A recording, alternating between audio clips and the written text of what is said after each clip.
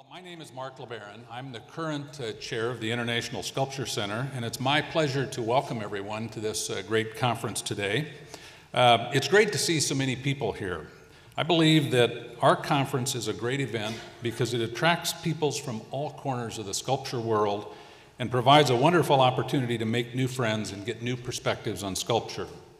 We have almost 400 people here representing 10 countries. We also have 40 students that are attending on scholarship.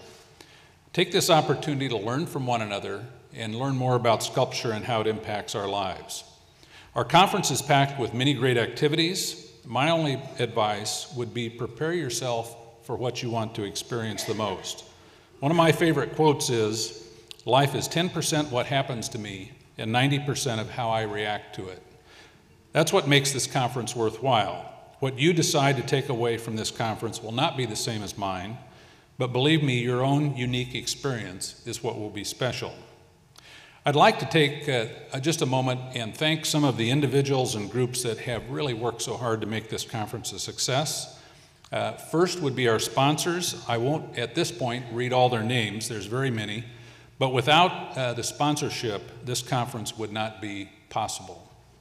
Uh, I'd also like to thank our advisory committee and the members of the uh, Chicago Sculpture International Group uh, the local chapter who's done such a great job in preparing and working to make this conference a success, including getting uh, numerous uh, sculptures up throughout the, the city uh, coordinated with this event. If you would, let's give that group a big round, round of applause.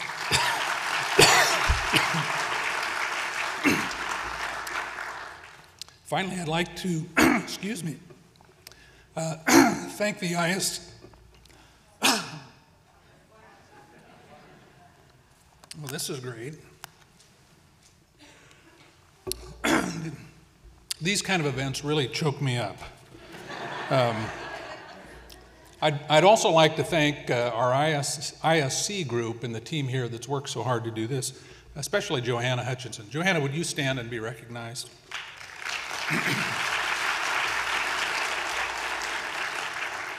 so now I'd like to uh, move on and introduce our keynote speaker, Edward Uhlir. Mr. Uhlir was appointed design director of Millennium Park by Chicago Mayor Richard M. Daley in 1998.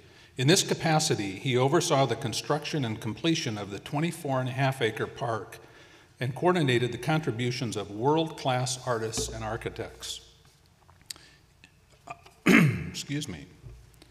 Mr. Uhlir now, Uhlir now serves as the park's director of planning, as well as the executive director of the not for profit Millennium Park, Inc., and serves as a consultant for the planning and design of the parks.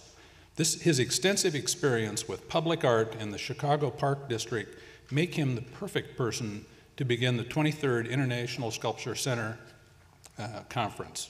Please join me in welcoming Mr. Uhlir. Well, thank you for inviting me. I was uh, fortunate, fortunate enough to be asked about four years ago to speak on a panel in Seattle for your conference. And afterwards, uh, somebody came up to me and said, You know, you were so refreshing and honest. So today I'll try to be even more honest when I talk about uh, Millennium Park and, and sculpture in Chicago.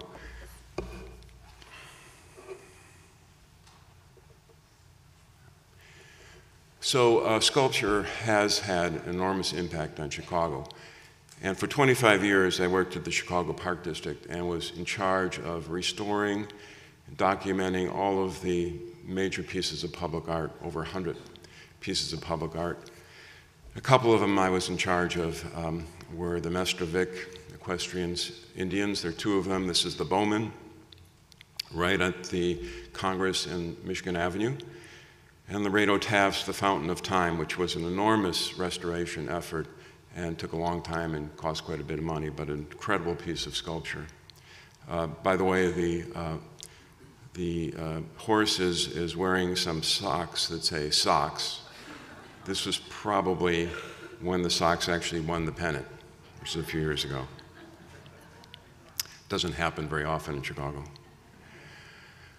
But we're fortunate to have some major pieces of public art from some of the great sculptors and artists from around the world, including Pablo Picasso's uh, Corten piece, which was a gift of the artist to Chicago.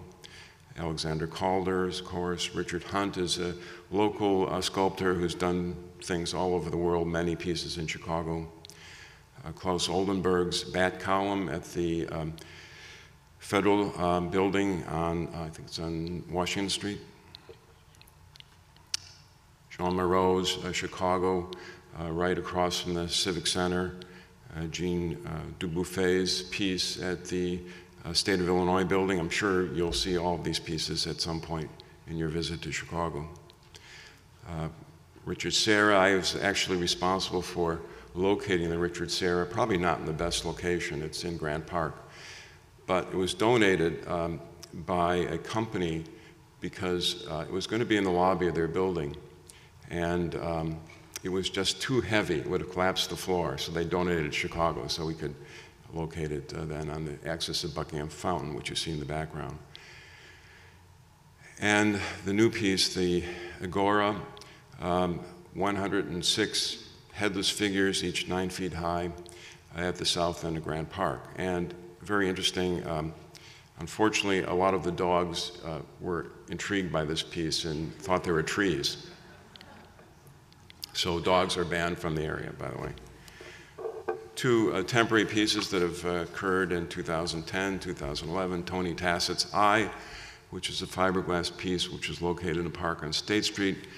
Temporary, but it caused a huge sensation. And probably the more controversial one is, is, Mar- is Forever Marilyn uh, by Seward Johnson. And it caused quite a, a stir in the art world in Chicago. The Sun Times uh, said, even worse than the sculpture itself is the photo op behavior it's inspiring. Men and women licking Marilyn's leg, gawking up her skirt, pointing, pointing at her giant panties as they leer and laugh. So uh, this actually just got sold recently for $5.6 million, and now it's been shipped, to, I think, to California. So even bad art, according to the critics, has value. So I'm going to talk about one project that I've been involved with since 1998, and that's uh, the creation of many Millennium Park and the impact it's had on Chicago. Its location is in the northwest corner of Grant Park. The site is outlined before construction started, and the site was pretty horrible. It was, uh, and by the way, um, in the middle of Grant Park is Buckingham Fountain. We're using that as a as a model for how we raise money from the private sector for Millennium Park, because Kate Buckingham uh, donated uh, $400,000 to build this fountain, which was designed by Edward Bennett. And that was in 1927. She also provided a $300,000 endowment at the time, which was enough to do a partial restoration of the fountain 10 years ago for $6.5 million and we need another uh, $20 million to finish the restoration. So these endowments are important, and, and I think any piece of art that becomes a public um, piece of art needs to have an endowment to maintain it in perpetuity. Um, the reason Millennium Park happened was because we needed a home for the Grant Park Symphony Orchestra and Chorus. Uh, they are just finished their 78th year of free concerts. And their home, which was built in, uh, the second home, which was built in 1978, was totally inadequate for the kinds of crowds that were, were assembled. And this was the, probably the uh, 3rd of July concert. Uh, Chicago always celebrates the 4th of July and the 3rd for some reason. And um, the one thing that happened was um, there was an idea that this site in the corner of Grant Park should be converted to a, a permanent home for, and, and, quality home for the Grant Park Symphony Orchestra. So it had been proposed from the 1970s, never had any legs because the railroads always said, well, you can have this site where, where we operate this parking lot um, for millions of dollars, and, and we also sell you the air rights so you can build your, your vision of a major new um, outdoor venue. So when Mayor Daley came into office, he was abhorred by this site. He looked over it from his dentist office. You can see in that building right there. And every six months, when he was practicing good dental hygiene, he had to be insulted by the view. So he directed staff to figure out a way to get control. And actually, the attorneys of the Park District, Park District at the time found out they actually owned all the property, fee simple. And the railroads had made this claim, uh, which was a lie, for probably over 100 years, actually 150 years, saying uh, they had rights to it. Well, they had rights to use it for railroad purposes, but the underlying ownership was the city of Chicago. So they filed a lawsuit, kicked the railroad off, and that's how the project started. And the idea was to build a new underground garage of about 3,000 spaces, uh, place a new outdoor music venue on top of the garage. The garage theoretically would pay for everything. It would be $125 million that would pay for the garage, the park. It would take a year and a half to build, and this was in 1998. And uh, frankly, the, and I'm an architect, so I know how they work, uh, they pretty much lied to the mayor about the cost and the time because they wanted the job. So we owe them a debt of gratitude because the project probably wouldn't have gone forward had the mayor known what a fabrication it was. So this was the 1998 Millennium Park plan by Skidmore, Owings and Merrill, and it had some major problems. Um, it had received all the Plan Commission approvals, had been vetted with the public, everyone loved it. It was a, um, it was actually covering over, um, you know, ugly railroads and parking lots. So no one had any sort of um, concern about its architecture or its design. They just wanted to see that stuff go away. But it had a serious problem. It was not accessible to people with disabilities. Uh, there was a portion of the park right here a big overlook, which um, you couldn't get to if you're in a wheelchair. And furthermore, the, a Blue Ribbon Committee was formed to raise $30 million to add to the original estimate of 125 million for the whole project. They weren't that excited about this plan. And um, so the mayor asked me to, he was high, asked me to leave the park district and take over the design of the project and fix it was my charge. He said, it'll only take two years, and then you can go and do something else. Now I'm still working on it. Uh, this is the uh, rendering that SOM did of the uh, music pavilion, and they had actually asked Frank Gehry to do a design for, for some sculptural application around the proscenium on each side. Uh, and Frank basically told them, no, he doesn't do sculpture anymore. He um, did something with them in Barcelona. It was called The Fish for a project they were doing, a big um, metal piece. And um, he, uh, SOM partner, told the donor group that Frank's not interested. So they sent me out to meet with Frank in, in Santa Monica. And I told him, well, Frank, we'd like you to do the pavilion. And he said no, because he didn't want to take away commission from some of his um, colleagues.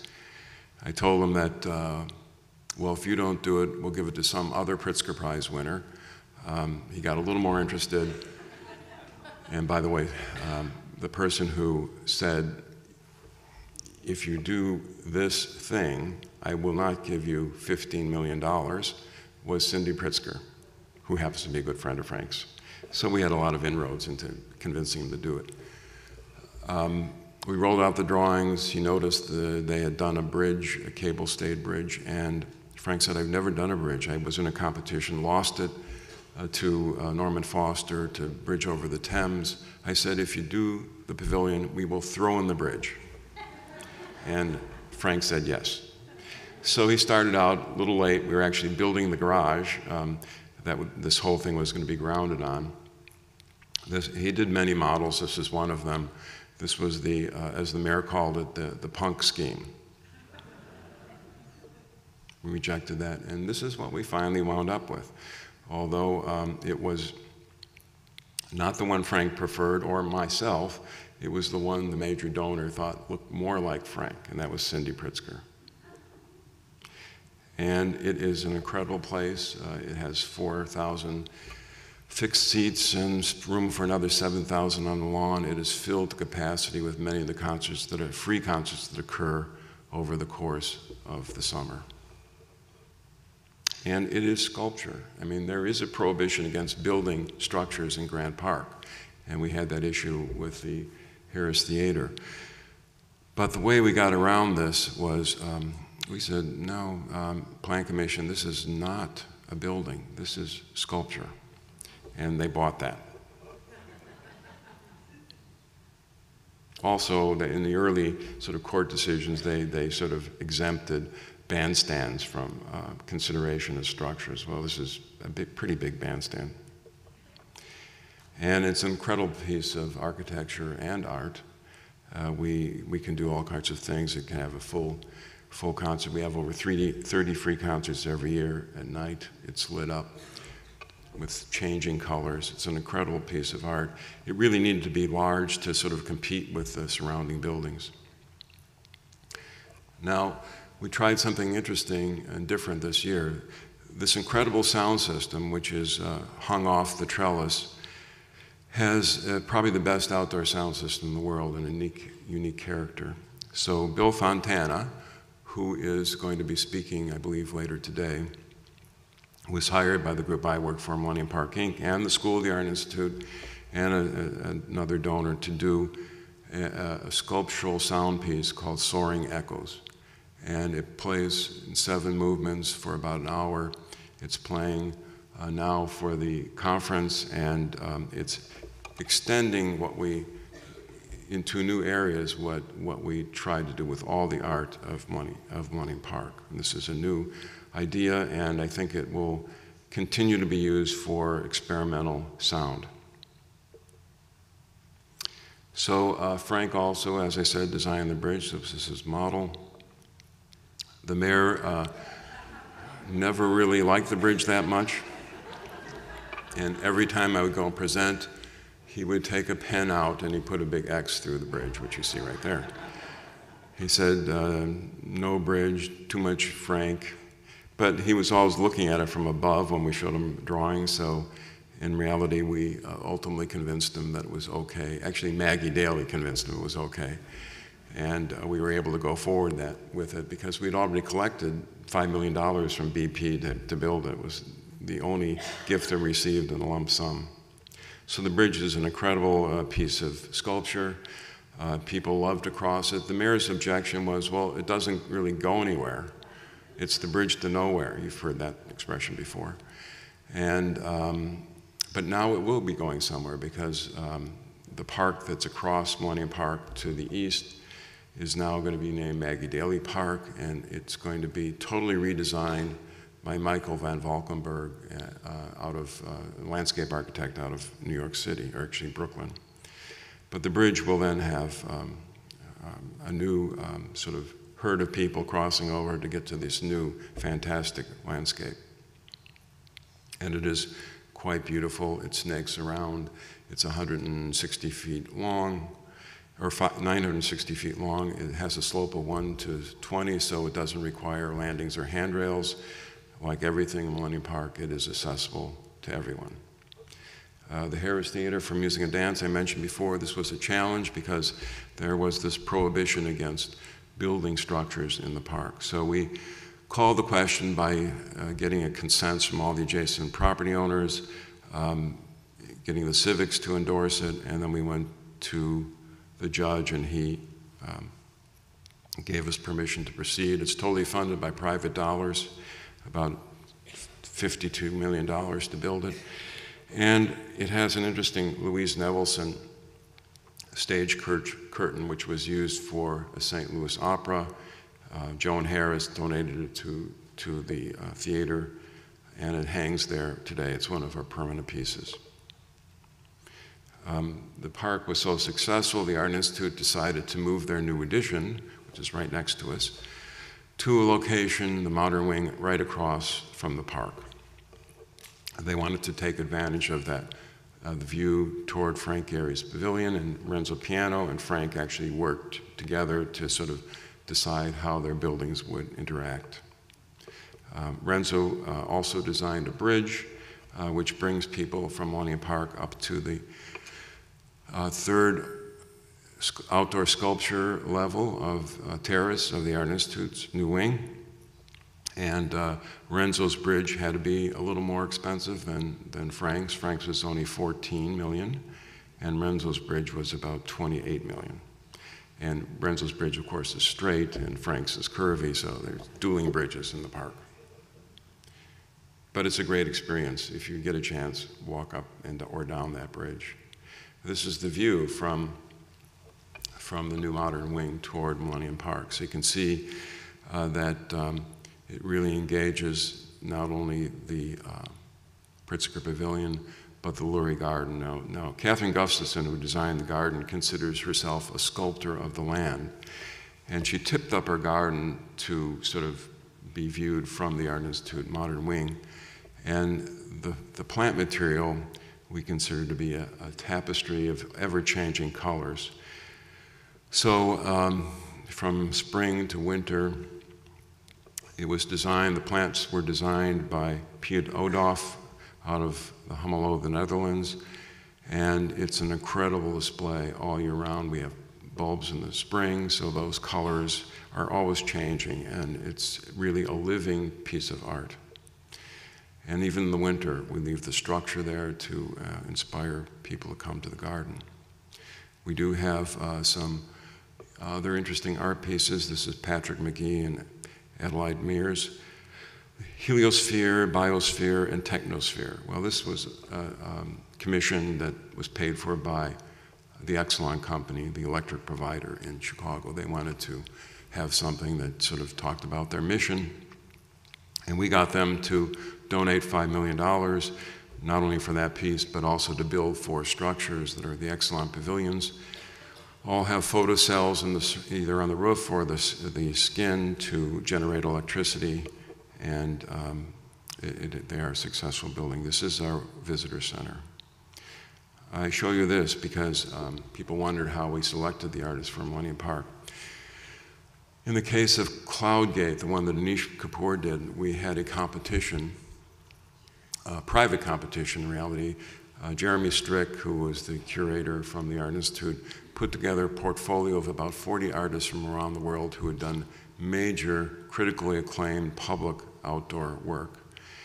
And we narrowed it down. We had a committee, including myself and some architects, art patrons, gallery owners, to narrow it down to two artists. And this was Jeff Koons' submission. Now, uh, they each came in to make a presentation, and Jeff's piece, which really is on this, was to be on the same location that Cloudgate sits on. Uh, Cloudgate's only about 37 feet high. This was 150 feet high. So it would be totally out of scale with the existing buildings. But if you, you kind of see, I think it's the intertwined faces of a rabbit, a monkey, and I think a donkey. You can sort of see them. And the idea was you would um, start at the bottom, walk up a spiral staircase to the very to 90 foot level, and you'd get on a slide and you'd slide down to the bottom. And we'd be picking up a lot of dead bodies at the bottom. People couldn't quite make it, or maybe shot out the slide when they're going too fast. So, uh, for very obvious reasons, and also you can't have a piece of, of, sculpture that with an observation platform that's not accessible to the handicapped. So you'd have to have an elevator, and it just got to be totally ridiculous. So we uh, paid Jeff off, and he went home. And then we got Anish Kapoor, and he had this incredible maquette, which everyone loved, and um, it is. Um, on display at the Chicago Public Library.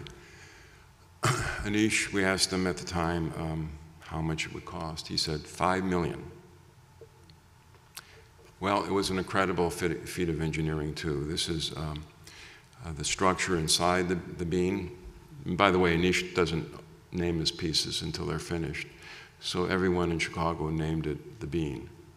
Uh, because uh, Anish named it after everyone named it the bean, the Cloud Gate, because it's a gateway with a 12 foot arch. and it brings the sky and the down to earth. I mean, it was a, it was a nice name, but people just named it for, for what they thought it looked like. Anyway, the pieces were fabricated in Oakland, California, shipped to the site, and you see some of the metal plates being installed. We had to build a gantry crane, and then um, we had to cover the whole thing with a tent because it was difficult to sort of do the finishing without uh, having the sun out and also the um, the products of uh, fabrication were sort of hazardous to one's health, so we had to uh, contain it. And uh, these are some of the workers um, um, doing some of their usual things during the day. This is actually lunch break. But we had an incredible team uh, of, um, of ornamental iron workers who built, built it, who are quite proud of the whole project. And, um, and uh, this is Anish, uh, seeing it for the first time. And I will quote the now famous quote It's effing big.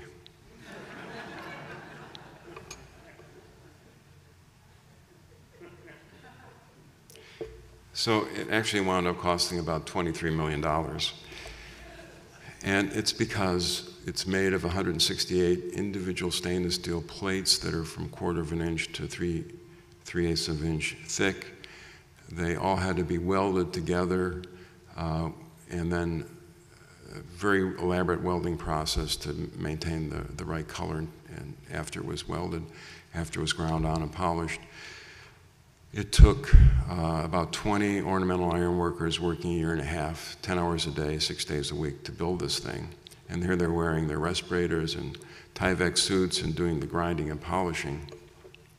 It was an incredible piece of fabrication. The people in the business um, said it's not possible to do it, and that's why it costs so much. The only way we could get anyone to build it is to agree to do it on time and material, which means you just keep paying them until it's finished and we made sure they were working, uh, but it just took that long, and, and, they had to build special tools to do the grinding.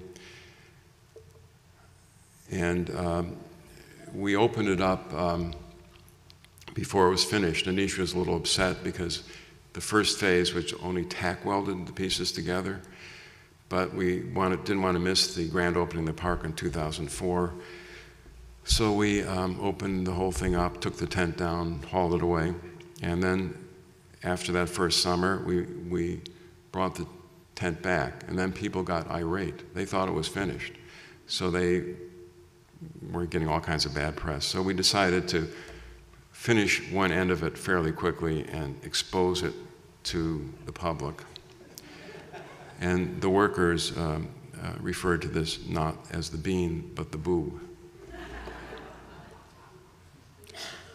But as I said, it's an incredible piece of art. Uh, across uh, from Cloudgate, we installed Dan Peterman's running table. It was an earlier work he'd done and located in other parts of Grant Park, was in storage. So we brought it back. It's recycled plastic, 100 feet long, made of 2 million uh, plastic milk cartons. And it's an incredible place for events. It's fun. People love it.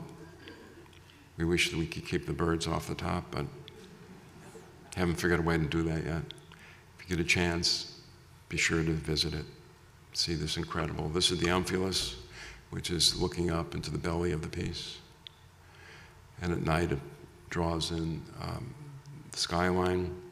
It's a place for events in uh, Chicago. We, every year we have different activities around it, anywhere from spinning to uh, these um, uh, Spanish uh, street theater uh, insects. Luminous Field by Sean and Petra was done as an experiment. They're Art Institute graduates, and for one month in the winter, uh, they provided a um, kaleidoscope of color from surrounding um, projectors and was always changing. We had a dance event with it. So we're using art, uh, we're extending the use of art to use other media. And then it becomes the one place in Chicago where you can carol during the winter. Um, some people have tried to put their tongue on this in, in February, but it's just not a good thing to do. We do have a protocol, though, to remove stuck tongues from, from a cloud gate. We wish people would keep their greasy little fingerprints off of it because we spend about $50,000 a year cleaning Cloud Gate every day. Fingerprints are removed by custodians with microfiber cloths and special uh, solution of liquid tide and water. This was the uh, site and the design for a, a, sculpture, garden, and fountain by Skidmore, Owings and Merrill. We had another competition. The Crown family was encouraged by the success we had with Cloudgate to uh, want to do something, and they decided to get rid of the architect and uh, go to artists. Well, unfortunately, they went to another architect. Uh, this is Robert Venturi's uh, design for that same site that Jaume Plensa has his crown fountain in. And the crowns um, thought this resembled a, a, male appendage of some sort, and they asked um, Robert to go back and rethink it. And he did, and he came back with the exact same thing. And he said, I thought about it, and you need to do this. So uh, Jaume Plensa was hired. He was also considered, along with Maya Lin, this was his sketch for the Crown Fountain. He was an incredible salesman in terms of his passion and understanding of, of uh, water and the human body, and his idea was to do these two corresponding towers of glass with water that would cascade the surface, and uh, the faces would be provided by uh, LED screens. So this is a cross section, fortunately, where it's built over uh, two levels of underground garage, so we could put in all the mechanical rooms under the, the piece. And they, mechanical rooms take up 27 parking spaces, so the garage operator wasn't really happy, but the mayor was uh, behind it. Uh, it's an incredible structural system, and this is definitely a collaboration between architects and engineers and artists. Um, Jaume was really mu very much engaged in the whole process. We hired the local firm of Krueck and Sexton to do the architecture. We had structural engineers, um, mechanical engineers, electrical engineers, computer engineers, fountain designers. Uh, it was an incredible team of people who, who really figured out how to make this happen. And that's uh, Jaume. as I said, he was engaged. This is, he's examining the mold for the glass bricks. There are 22,000 glass bricks that are installed on the, around the four sides. and um, we had to do a lot of testing. This is the testing of the gargoyle effect. And the first test uh, demonstrated that the stream was a little too intense, and the uh, architect, young architect who had to get in front of it to be tested, was knocked over by the first stream of water. So we had to go back to the drawing board on that. And this is the pieces being assembled. They were fabricated in the shop, these panels, and then shipped to the site and installed. Um, each glass brick is set in a stainless steel frame, and that frame is then clipped back to the structural system. And this is the computer room underneath the in the garage that, that operates the faces and the color LEDs. It's an incredible piece of art. People love it. Uh, the artist had no idea that it would become uh, the free water theme park for Chicago, but it was um, something that we all didn't expect, and um, it's great that uh, people are prepared with their bathing suits to, uh, to experience great public art. The Art Institute initially wasn't too thrilled about the design. They considered Jaume a second-class artist, and um, they thought uh, this was more kitsch than it was serious public art. And they were opposed to the fact that we, um, it was too big, they said. They, they didn't want it in this location because it was too close to the Art Institute. But we uh, prevailed and it was our property, so we said we're going forward. Now they love it, so it, it, it is a, quite a sight to see how people use it. And even adults use it.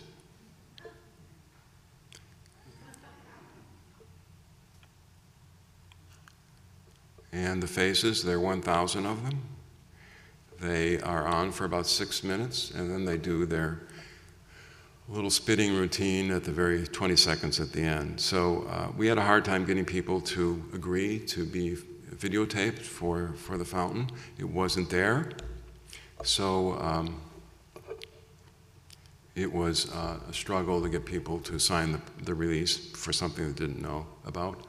Now it's the most asked question about Millennium Park. How do I get my face in the fountain? Well, we have a thousand faces. The computer randomly selects them, and they represent Chicago's uh, diversity in terms of ethnicity, age, and gender. And uh, a thousand faces are a lot of faces. And we had the computer randomly select them so we wouldn't get the question of what time will my face be on. So we never know. We can't tell you. At night, it's an incredible um, piece of art. And even in the winter, even though there's not water there, the faces are still, um, still in evidence. Never, uh, the faces he, are arranged so that there's never the same face facing off with another one. They're supposed to have a dialogue. That was Jaume's idea. And as I said before, we, we extend the use of art to include other art forms. This is the Joffrey Ballet performing in the pool around the fountain. And like everything in the park, it is accessible to people with disabilities. In fact, I received one of the proudest things I ever received was the Paralyzed Veterans of America gave me their Barrier Free America Award about three years ago. Uh, there was a lot of concern about the fountain, um, that it would be used for advertising, and uh, the mayor was the most concerned about this idea, and uh, he insisted that we establish some way to prevent Weedfest or some other um, not-for-profit from having the ability to place images on the fountain. So there's a curatorial committee that uh, decides what, if anything beyond the faces, can be displayed on, on on the project. And um, we get all kinds of requests. Um, uh, they're not having a dialogue here, they're having more of an argument. And um, the, the images don't reflect my political leanings, by the way. The Boeing galleries are a place that we do temporary exhibitions. We've had nine so far. Um, and we started out with sculpture with Mark di Suvero's exhibition. The interesting thing about the Boeing galleries, and this is before they were um, built, the plants had really developed very much. He was the first one with a sculpture. He created this piece for the park. And um, he was intrigued about coming back to Chicago and actually having something in the city because he told me the story about how he came in 1968 for the Democratic Convention and how he was protesting, and, and the police hit him over the head and threw him into the fountain at Daley Plaza. So he came back when we had the dedication, the mayor was there, and he mentioned that, and uh, the mayor was accepting of that. It was his father, anyway, that was involved. Uh, we had an exhibition of four Chinese artists in the Boeing galleries one year. This is we, we pay for uh, shipping and installation. We don't pay any artist fees uh, because uh, we can't, first of all, we have an endowment. It doesn't, doesn't produce enough that we can pay artist fees. But I think the exposures artists get are, are probably worth, worth it. And currently, um, there are four or five works by Yvonne Domenge, and she will be doing some tours and maybe even speaking at the conference. The interesting thing about this is that the uh, Mexican cultural um, government paid for their most of their fabrication in Mexico City, and they're site specific to Millennium Park.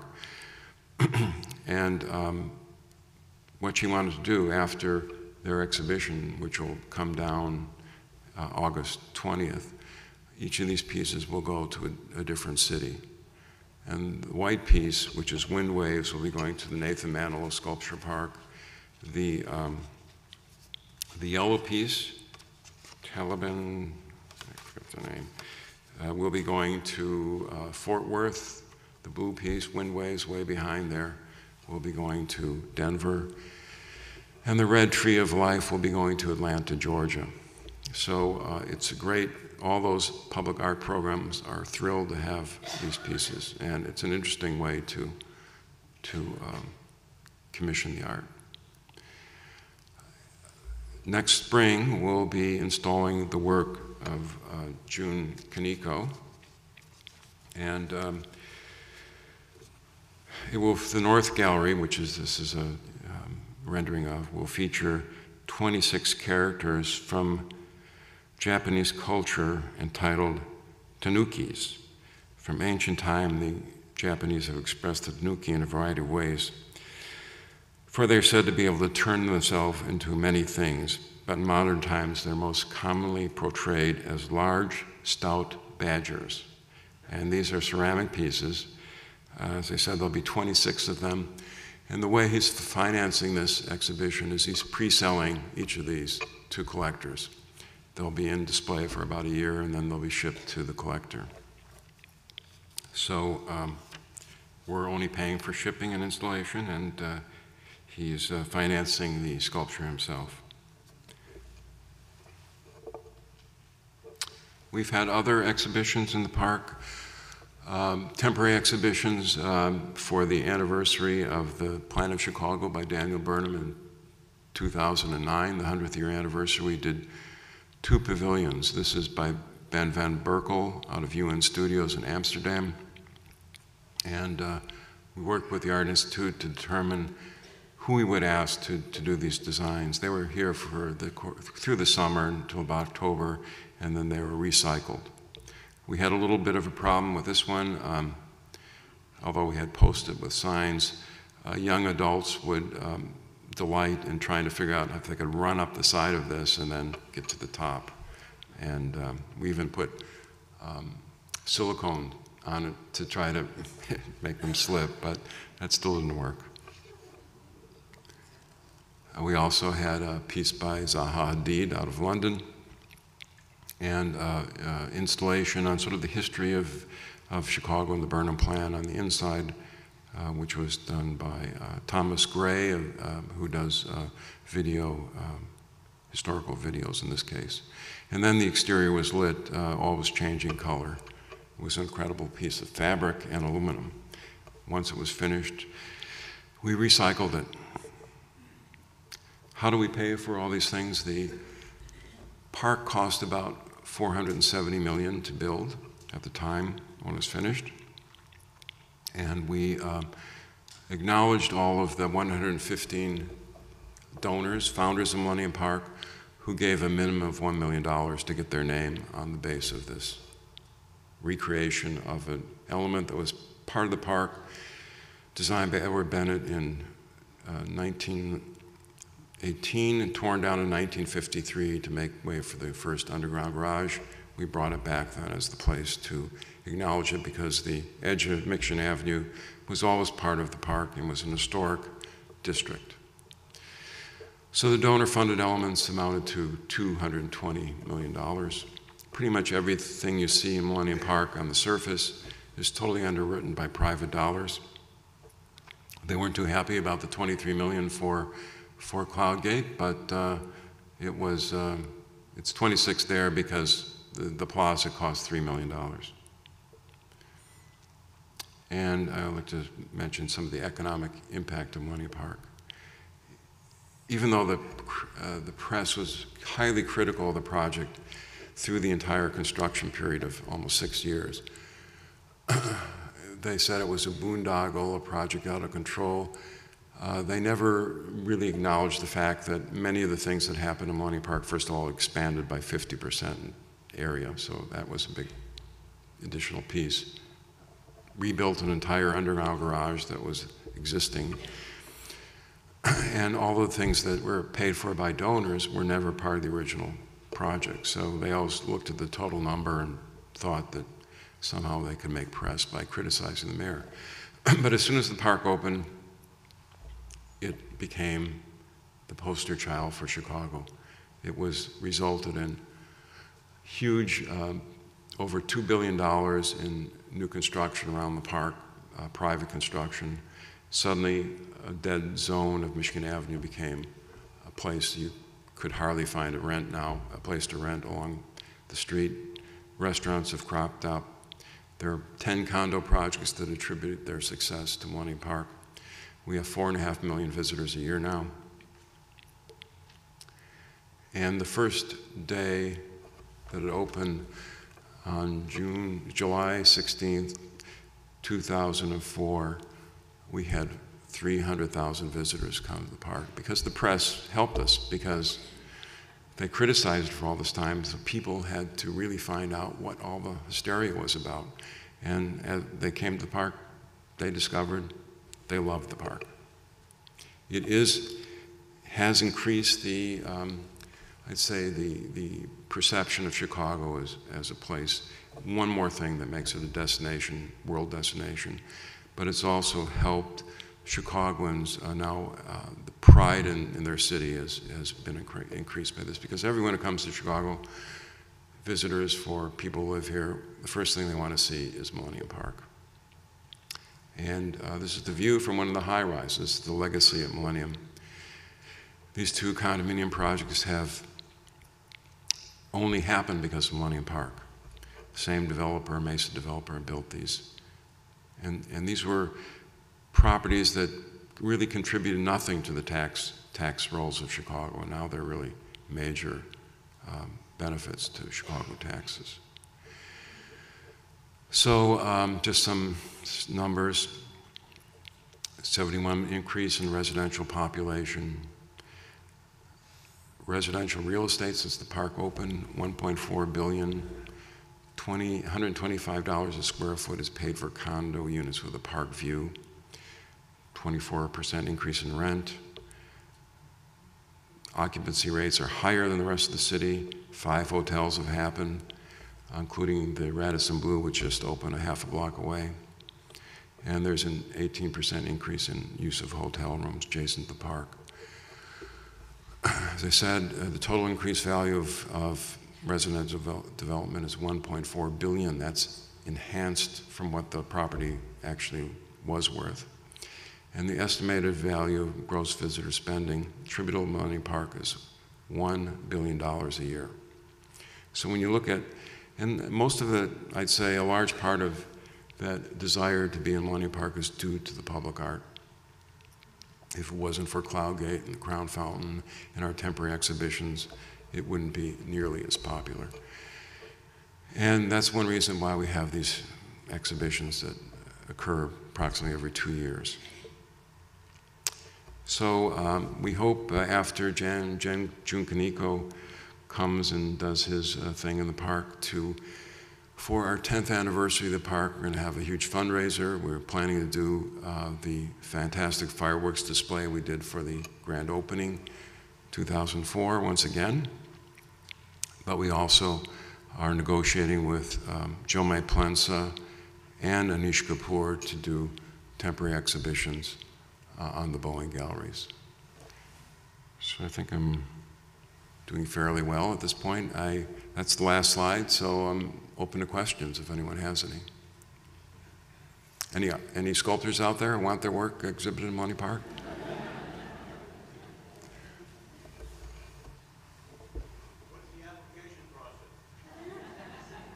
Uh, well, we have a curatorial committee. It's made of the uh, curator for uh, the Nathan Manilow Park, the uh, Rondeau from the Art Institute, uh, Darling from the MCA, myself, and the head of public art for the city of Chicago. And we look at everyone who makes a proposal. So send it to me. I won't give you my email address, or no, I will. It's ed.uhlir at mpinc.org.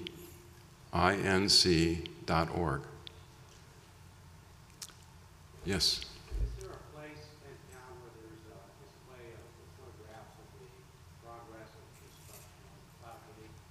Uh, yes, there is. Actually, if you go to the public library website, they have 6,000 photographs of um, the progress of Millennium Park. Now, I'm not sure you can access, I th think you can access them if you don't have a library card, but there must be a way to do it. But that's where it is.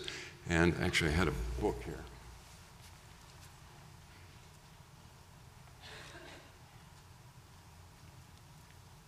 If you are if you're interested in learning about the history of Millennium Park, this was just published about a year ago. It's called Millennium Park Chicago. The author is Cheryl Kent, and there's actually a lot of photographs, not construction, but photographs and history of, of all of the art and architecture of the park, published by uh, Northwestern University Press. And you can probably get it uh, on Amazon.com for 10 bucks or less or more. Uh, it's in the, uh, I don't know if it's in the Art Institute bookstore, but it's in the Chicago Architectural Foundation bookstore, which is on Michigan Avenue, 2400 South Michigan. Oh, I see. Uh, Bill Fontana's here. Why don't you show, show yourself, Bill, so they can see who did uh, Soaring Echoes?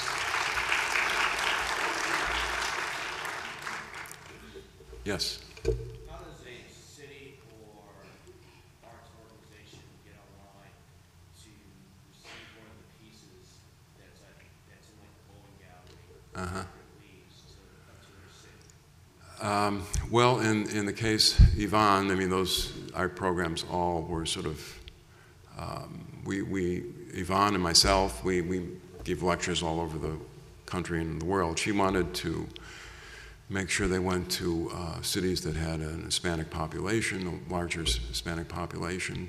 Uh, just demonstrates that, uh, that art in, in Mexico is viable, great art. And um, so it's always different, um, and it's really up to the artist on how that work will be distributed. Jun uh, Kaneko is selling those pieces, so if um, you're interested in buying one of his pieces, and it's not only the, the Badger, uh, he'll have uh, Dangos, I think, and some other columns that he's done, and other, those are existing works that he'll also be selling. So you can contact his office and try to negotiate a number. Yes.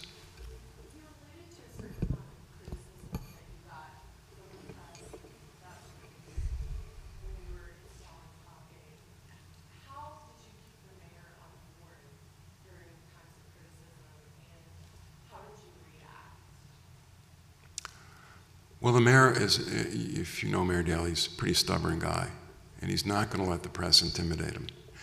So basically, even though the press was very critical, he said, I don't care what the press says. You know, you only get one chance to do a project like this right, so let's, let's make sure we do it. And the donor community, who were getting a little nervous about all the criticism, and before we had all the donors signed up, it was harder to convince them to give a million dollars. So they, um, but we had one very strong leader. I think the two critical things in, in, the park is you needed a strong mayor who was going to be in office for a while, so you could do like a project like this. Uh, and you needed a very strong civic leader. In this case, was John Bryan, who is the was at the time the uh, uh, CEO of Sara Lee Corporation, and he pretty much in his Blue Ribbon Committee, his executive committee, knew everyone in town, knew knew everyone who had money and uh, it, it, got to be a joke that if you got a call from John Bryan, you better run from the hills because he was going to ask you for a minimum of a million dollars. We actually wound up having uh, 10 donors who gave $5 million, and that allowed them to have a place in the park with their own name. And we had two at 10 and one at 15. So the Crown family gave 10. The fountain cost $17 million to build. Uh, we, we had a hard time with some of the donors. Um, um, McDonald's is a donor, and they underwrote the bike station. And they wanted the golden arches in the park, and we said no, we were willing to turn down $4 million if that was the case. So, but they wanted to improve the, their image as a corporation that promotes healthy lifestyles. So putting their name on the, on the bike station and underwriting an exercise program that occurs during the summer every Saturday morning for uh, four hours Tai Chi, Zumba, yoga. You can have your egg McMuffin and spend four hours trying to get rid of those calories. Yes? What was there, what was in your past or events or, or training, something that gave you the, the ability, the confidence to, to actually do something like this? I was stupid. Um, no, I think um, my experience then the mayor uh, wanted me because of the handicapped issue and, you know, sort of redesigning the park to be accessible. But then I'd had a long history at the parks, uh, 25 years preserving art um, and making sure it got uh, cataloged, recognized, and preserved. But my experience, I'm an architect, so um, doing parks for 25 years was also my credential. Um, but dealing with big egos was a problem. Um, would be a problem for somebody with a big ego, so I have a very small ego, so I, I was able to overcome some of those egos and try to make them work together. But I also had a title. I was assistant to the mayor and project design director. So uh, dealing with the other architects and planners and designers and artists and the city departments, I was elevated because they were all afraid of the mayor. And if I threatened to go back and tell the mayor, they would capitulate. So um, that was a, a, my, my car, my ace in the hole, they say. So it, it helped. And then I was going to quit several times in the process, but it reached a point where I said, you know, I can't quit now. And I was afraid that people would pan the project. I mean, the critics were were uh, not revealing their feelings about the park, even though I tried to get them to sort of understand what was happening and to give them tours. Uh, the one uh, architectural critic in Chicago, Blair Kamin, loves the park after it was opened. He was very glowing about uh, what the great thing it was for Chicago. It was written about five, about eight articles on various aspects of the park, all positive. And then Robert Campbell, who's the architectural critic for the Boston Globe, got a chance to visit and said, in his opinion, and he's been all over the world, it's the best new design for an urban park in the world. So those kind of things turned out okay. I didn't have to leave town, which might have happened, by the way. Yes. Can you speak a little bit about plans for Maggie Daley Park? Are there, or? Uh, yeah, it was uh, done by Michael Van Valkenburgh, but it, you know it's it's been somewhat reduced from the grandiose scheme they had initially because of funding, but it will be geared toward um, toward maybe families and children. So it's going to have a really interesting landscape. It'll have a skating path, which will be mechanically frozen, but instead of a rink like we have in Millennium Park, it'll be a path that will wind through a landscape during the winter, and that'll be used for rollerblading or other kinds of things during the summer. It'll have climbing walls, skateboard parks, um, unique um, uh, sort of destination playgrounds, and um, a um, ecological um, landscape. Now, there, there, I think there's an opportunity maybe to to add art, but that'll come at a later point. And that construction, the, the thing that's people will be horrified about is that it, that project is built over a garage. And when you look across this 20 acres, it will be totally removed. All those trees will come down, and uh, they have to re, re-waterproof the garage because it's leaking, and that was the whole reason for this park happening. We're a little worried uh, when the, they do the demolition. We think that all the rabbits, the rats, and the squirrels will be running across Frank's Bridge and, the, you know, taking up residence in Millennium Park. So we're going to put a gate up. Rabbits are a bit of a problem in the park. We have last year we caught 60 rabbits, but we released them in the in the western suburbs, so not not to be afraid. Uh, any more questions? Can you tell us a bit about um, the endowment and how, how you fund the maintenance and the programming and the ongoing operations of, of the park? Yeah, it's uh, really unique. It probably, it is in the program is still a private par- public partnership. Our endowment is approach is about 20 million now. There's restricted restricted amounts. The, the, we are responsible for maintaining the Lurie Garden. There's a $10 million endowment for that, which, which really does a good job of taking care of it.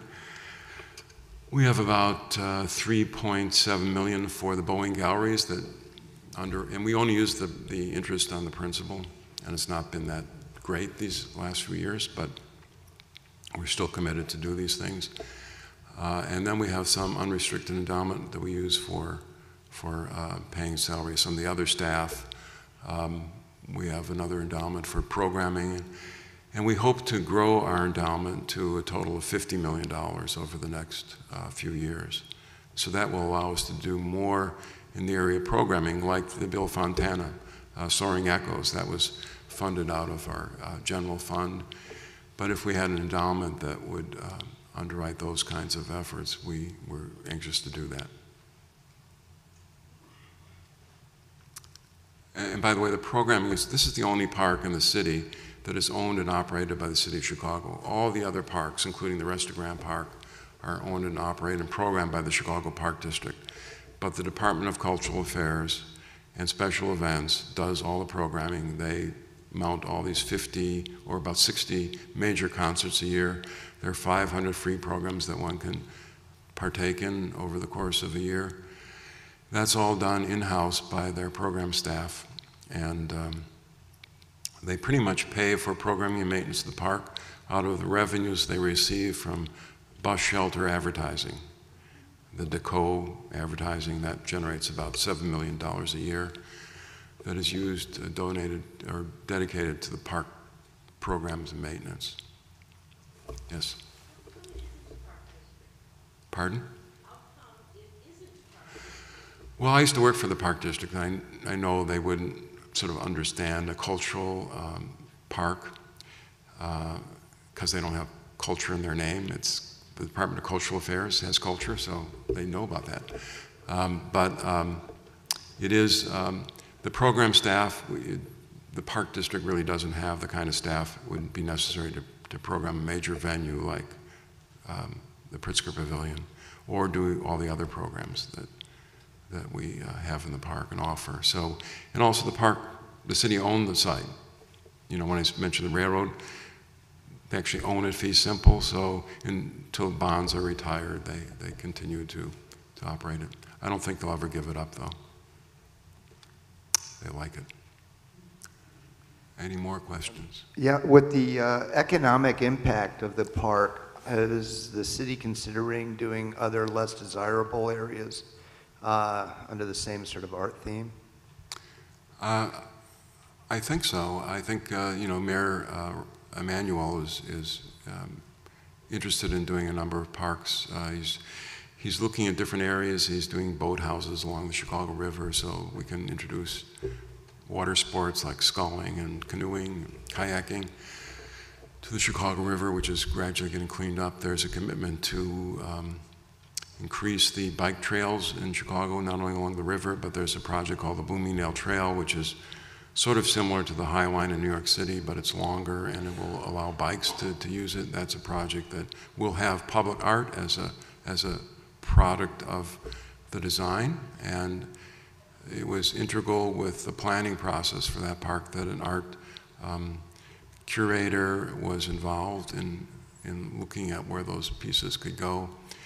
And so there will be, um, soon there'll be, I think, requests for proposals for, for uh, various um, ideas along the trail. And sort of the, the park has, you know, there's art, temporary art throughout the park system, not only Lincoln Park, but there's that one lakefront uh, art installation now of sculpture along lakefront, which I think is in your package but it costs a lot of money. It takes a real effort to. I don't think it could have happened to, tomorrow if we wanted to do Millennium Park, because when it happened and when the money was being raised, uh, the economy was in much better shape, and uh, people were more willing to give their money. But we're still getting donors committed to to enhancing our endowment. Any more questions? No? Okay.